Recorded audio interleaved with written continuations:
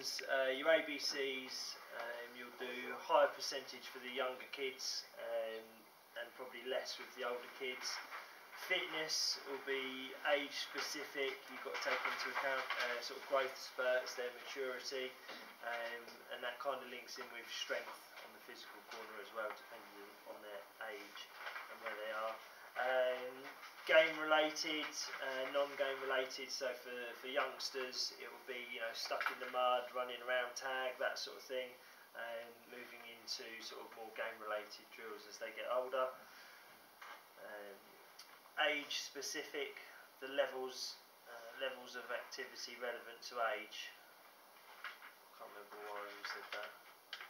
Intensity of session, high, low, schedule. So, like you said yesterday, if they've got game Sunday, you might not have a high intensity training session on the Saturday. Um, competition, again, age dependent on how you have that competition.